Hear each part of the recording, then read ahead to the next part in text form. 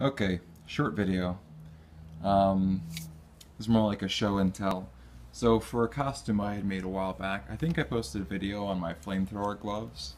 I wanted to have a matching cane that went with a top hat and lots of mm, likewise uh, movie prop material. So I have this cane, and I'll set it down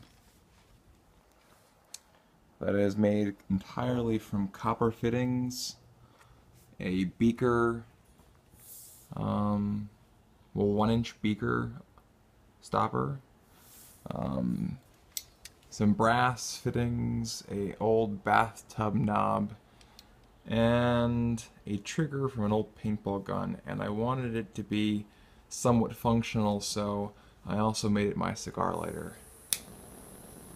Alright guys, Show and tell's over.